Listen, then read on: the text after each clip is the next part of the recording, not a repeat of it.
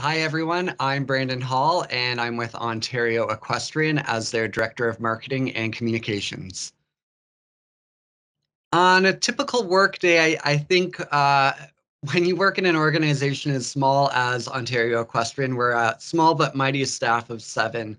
Uh, it's an ever-changing day. So the role itself has to come with someone who can be adaptable and be able to kind of give and take with whatever the day requires of you. So um, typically it's anything that comes out of OE, whether it's the visual presence or uh, communication content, it, it all kind of comes through our department. So if it's a program that's being launched or we're trying to get participation uh, with a coaching education component, uh, everything kind of has a, a, pulse through the marketing communications world. So I'm, I'm lucky enough to get a really good idea and uh, feel of what everyone's doing on the staff of OE. I would say the biggest characteristics or, or, or traits that are required for this role would be, again, adaptability, flexibility, uh, patience, because you could be working on a project that maybe you're really passionate about or you've just put a lot of hours in, and it could be tabled for months or even years.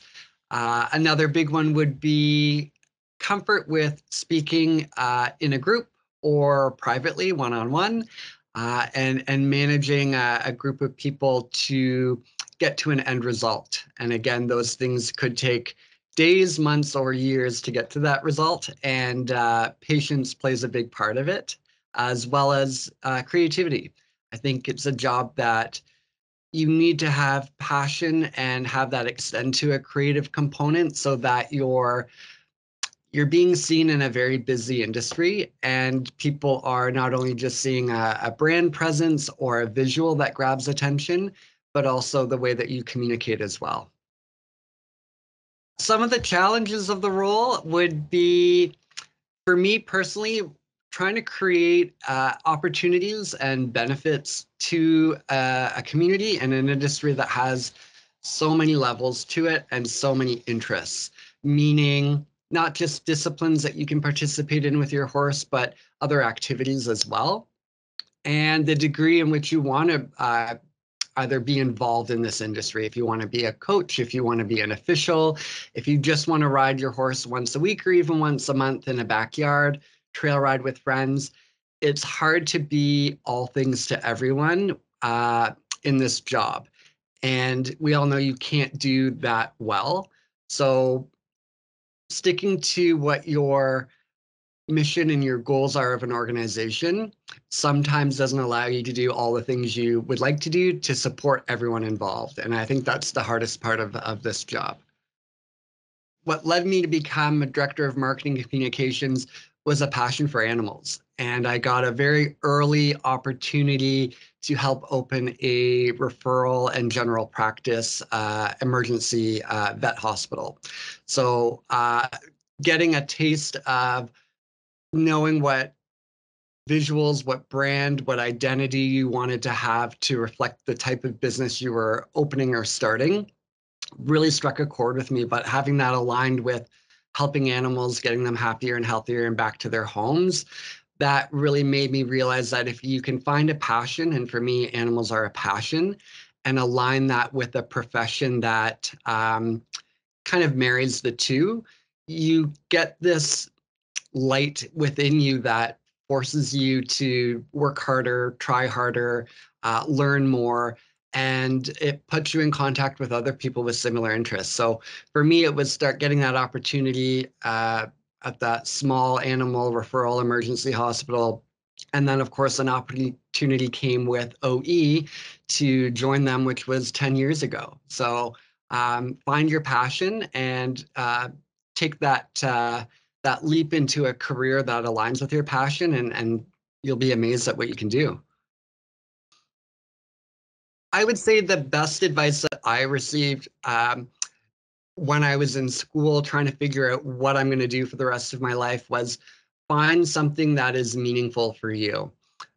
Again, for me, animals were a passion of mine, but I wasn't sure what that actually meant in terms of a career that pays the bills, gives me uh, an outlet, um, you know that passion that gets you from an entry level position to something that's going to give you a meaningful career. And I think when you truly find that passion, you will find opportunities within an industry of that passion that gives you a fulfilling career and you work harder. You are connected with people that hopefully support you and see opportunity within you. And it just gets you from an entry level spot to a job that maybe you created yourself without even knowing just because of the passion that you're showing.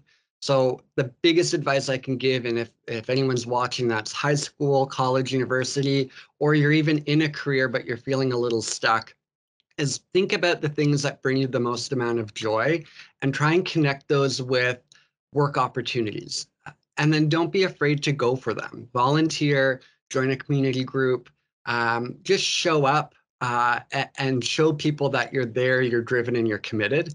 And that I think will be the biggest first step that you can have that steers your career.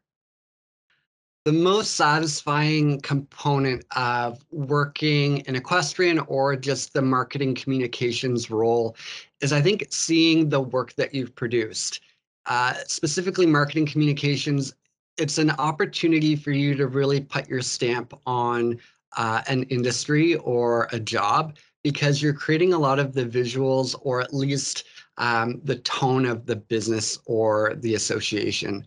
So for me to have the opportunity to lead a team of developing and rebranding Ontario Equestrian, that for me is a, a mark that will be around for years to come. And seeing kids or adults wearing an OE hat or not saying OEF anymore because we didn't want that military uh, feel to it.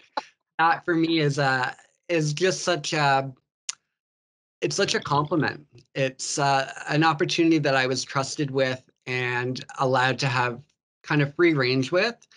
And to have that be seen when I'm at a horse show or if we're doing rider level testing and uh, people are just participating in sport or, or um, just programming that comes along with OE. That is the biggest compliment because it means we're doing something meaningful and people see value in it. And, and what better than that?